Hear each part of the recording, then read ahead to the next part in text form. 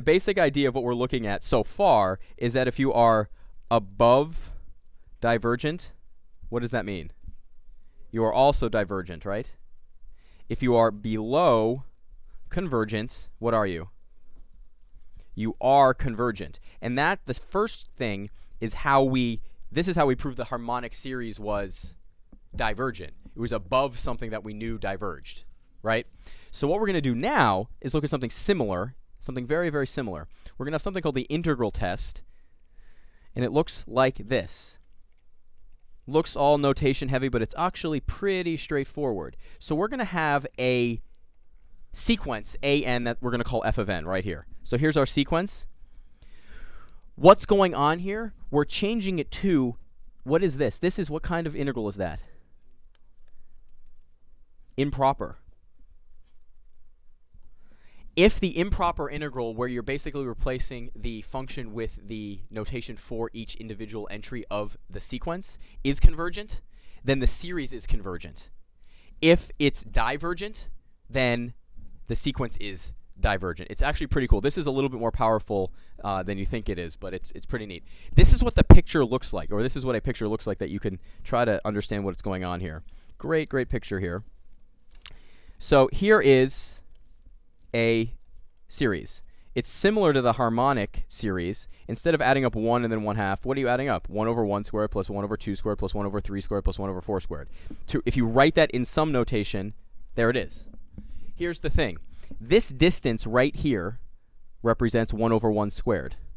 What does this represent right here, that distance?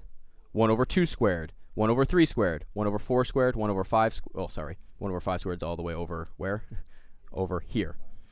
So here's the thing. We're not quite sure, we're not quite sure what the area is. So we're not quite sure if this converges or diverges. We want to add up this distance plus this distance plus this distance plus this distance plus this distance. But what did I say before? If we find something definitely larger than this converges, then this series must what? Converge. Then this series must converge. Exactly. So instead of looking at this sum, do you agree with this? This sum right here to infinity of 1 over n squared. So it's 1, 1 over 1 plus 1, 1 over 1, 1 over 1 squared plus 1 over 2 squared plus 1 over 3 squared. This right here is got to be less than the integral from 1 to infinity, not 8. it's a very different number. 1 to infinity of what? 1 over x squared it better be, right? And here's the thing. Can you integrate this thing? Whoa. Can you integrate that?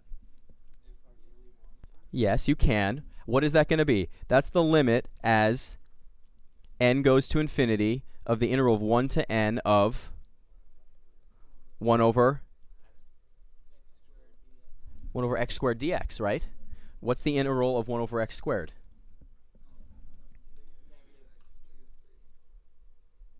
The integral negative x to the what? And we're going from what to what? Do you agree with that? So yes, it's equal to negative 1 over x from 1 to n. So what's that going to be? What is that? Negative 1 over what? n minus what? Negative 1 over over 1. Is that correct? And we're looking at what's the limit as n goes to infinity of this. What is that equal to? 1 minus, so what is it? It's 1, right? Correct? We plug in, it's 1 minus, yeah. So here's the thing. We prove that this thing is equal to 1. So therefore, does this converge or diverge? It must converge. Because it's less than it's less than 1. We don't know what it converges to, but does it have to converge? Yes. Yes. We know when we add them all up, the maximum thing it possibly can be is 1, right? So does this kind of make a little bit of logical sense? What integral are you guys trying to do? The integral from?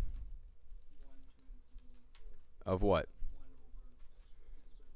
Yeah, what? Yeah, it doesn't really matter what you call it. What is that? The limit as n goes to infinity of 1 to n. Got it. So now you have to integrate 1 over x squared plus 1. What is that? Come on. What is it? Tan inverse? Ooh. From what to what? 1 to n. Yeah? Yeah? Is that good? Yes. Does that help you out? Okay, can you tell me what you're evaluating here? It's the limit as n goes to infinity of tan inverse of n minus tan inverse of 1. What is what is tan inverse as of n as n goes to infinity? Pi over 2. Yep. Oh, yeah, you can't see it. I'm sorry. Pi over 2. And what's tan inverse what's tan inverse of 1? Pi over what? Pi over 4? So what do you think this equals? Mm. So the integral exists, so therefore is this convergent or divergent? Convergent. We haven't gone over it, but we verified it is convergent, so we're done at this point. Okay, one last thing I just want to point out, and this is important. I meant to circle up here uh, instead of doing that side. This is 1 over 1 plus 1 over 1 squared. This rectangle is 1 over 2 squared. This rectangle is 1 over 3 squared. I was mixing units here if I just highlighted one side. The point is, instead of integrating from 1 to infinity, what should I have integrated on this one? It's 0 to infinity on this one. And what's nice about it, it's 0 to infinity, that doesn't really change a heck of a lot on this. Um, the challenge, though, is if you change this to 0, if I change that to 0, what happens? Yeah, this changes right there, right? And can you end do you end up being able to plug it in? You can't really plug it in, right? Um, the question, therefore, is uh, uh, what is one over what? Are, what's one over one squared? One. So you know that you can just eliminate all of this because you know that the actual value is 1, and then it's going to be the actual area. You still know that the sum, 1 to infinity like this, of 1 over n squared is going to be less than 1 plus the integral of 1 to n of 1 over n squared. Uh, 1 to, yeah, 1 to uh, 1 to ah, 1 to infinity. I'll just do it like this. Uh, x squared dx. The point is yeah, you have to be you have to be a little careful, but here's the thing. It's not going to come up with that much because we're just going to start our things at 1 and go forward from there. That's totally fine because you can always cut it out constant anyway. As long as if it, the first one's a constant, you know everything else converges. Uh, co convergent plus a constant means convergent. So that's where the final rule comes from right here, where you can just go from 1 to infinity uh, because the first term will be a constant. Right here. All of them are going from 1 to infinity. Yeah, when is this convergent? Well, we know, as we've been told, this is convergent when what has to be convert when what has to exist. If this is the series, which integral is going to have to actually be.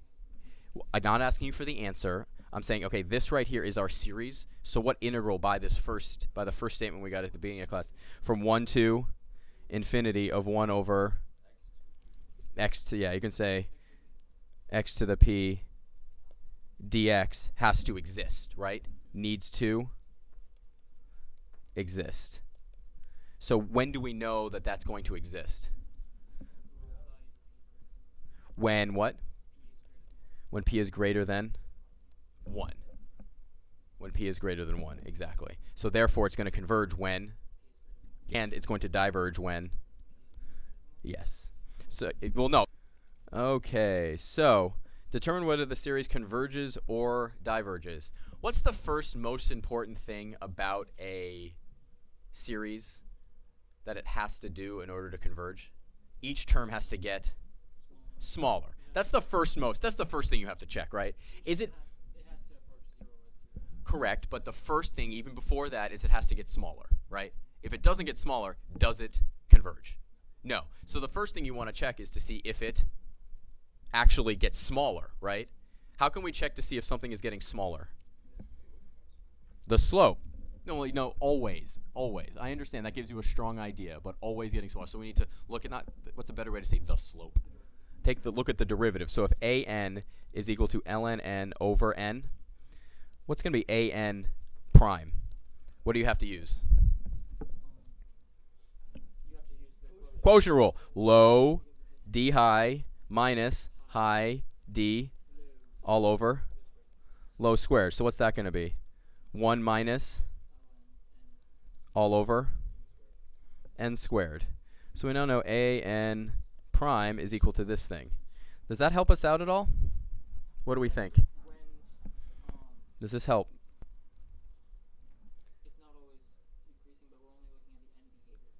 We're looking at no. Well, hold on. We're trying to find is this always? It should always be decreasing, right? So theoretically, true. This one does. Yeah. We sure?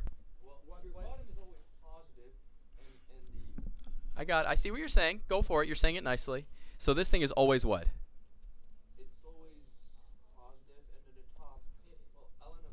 You're all saying a great thing, so I'm just trying to get you to say them all at different times, okay? So yes, always positive. And so you know that 1 minus ln this is positive greater than 0 when what is true? When n is greater than e. Absolutely. I understand what you're saying. I just wanted to say like piece by piece by piece. See if it goes to 0. Do we believe it goes to 0? The limit as n goes to infinity of uh, ln n over n. Well, they both go to infinity on the top and bottom, so what can we use? Yay, L'Hopital. So what do you end up with? The limit as n goes to infinity of over 1. So what's that going to go to? It's going to go to 0. It's going to go to 0. So it's decreasing and it goes to 0. Yay! So it's we haven't violated any of the problems that would immediately tell us it's divergent. Correct? Okay. So what are we going to do with this thing? We are going to do the which integral? The integral of 1 to infinity of ln n over, or we like to call it what, ln over x dx. That's what we want to try to do right now. Can someone tell me what it integrates to?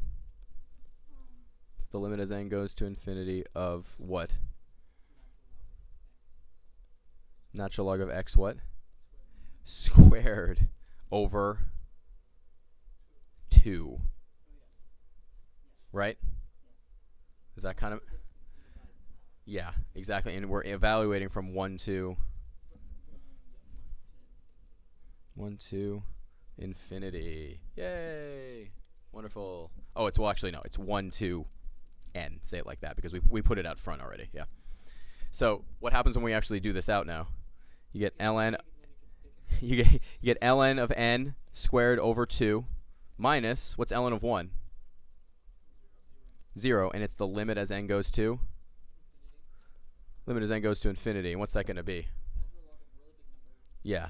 So what's it? Yeah. So made even bigger. So it's going to be this. So what do we now know? Divergent. Divergent. Correct. Right here. This thing right here. Right there. And we know the only thing we're cutting off is finite. Finite plus finite is going to be finite. So it's therefore going to be convergent. Right, exactly. So we're looking at the part that could blow up and showing that the part that could blow up is not going to. So it doesn't matter what the other part is. Does that because that we already we already established that it's constant, so therefore it's not going anywhere. So look what he did. Like how it's nice and big, which is good. This first rectangle right here, this one right here, what does that represent? I circled it. It's hard to see. That is A2 because it's the distance, it's this distance is 1 from 1 to 2, right? It's 1, but what's the height of this thing? That's the proper height you're looking for, right? So the area of that, that rectangle right there is A2. So that's why you're summing it from 2 to infinity here, but then the integral you want to take from 1 to infinity. You want to take from 1 to infinity.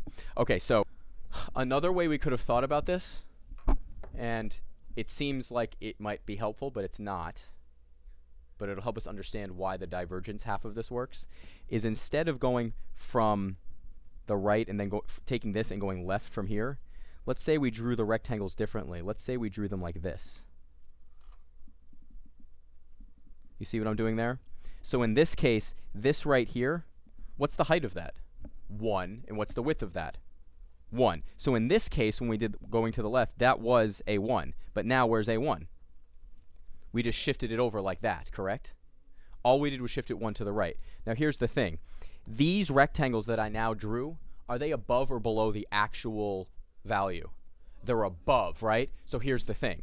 If we proved, if we proved, um, if they're above and we proved that it converges, does that help us? Not really. If you're above something that converges, you might converge or you might diverge. But if you know you're above and the integral diverges, then it's going to definitely diverge, right? So the one example, the classic example that they actually go through in the book is they look at this. They look at the summation of n goes from 1 to infinity of 1 over the square root of n, like this. And this is how we could use the integral test to show that this thing, what do we think this does? This diverges. And the reason it diverges, if we graph this thing out, 1 over the square root of n, it's still a curve that goes down like this, right? Is it decreasing? Yes. Does it go to 0? Yes. But does that make does that mean it's definitely going to is does that mean that this series is definitely going to converge? Not necessarily. It might, but we don't know that. So what we can do is think about it like this. Let's start at 1, then we go to 2, and then we go to 3 like this, okay? And we draw our rectangles. Here are our rectangles. Now, this right here is always what? Always above. So what this tells us is that the summation of n equals 1 to infinity of 1 over the square root of n is going to be what? Greater than or, well, actually, it's going to be greater than. You can just say greater than. It's definitely going to be equal. It's going to be greater than the integral from 1 to infinity of what? 1 over the square root of x. Do you agree with that? It has to be greater, right? But what do we know for a fact 1 to infinity of x to the what power? In this case, what kind of what is that? what do we know about this? Well, hold on. No, don't overthink it. This right here, what do we know about that? It diverges. Why do we know that that diverges? Tell me. Yeah, we proved it, but specifically, what's what do we identify in there? What's the key thing that tells us it diverges? We know that p. We know that the one half, one half is less than one. So therefore, this thing is going to diverge. We already remember we figured that out before. So because we know it's greater than something that diverges, this must what? That must diverge we know it's greater than something that diverges, so it has to diverge. Let's go back to what did we say first today? If it's above a divergent, it's going to diverge. If it's below convergent, it's going to. When you mix and match, be careful.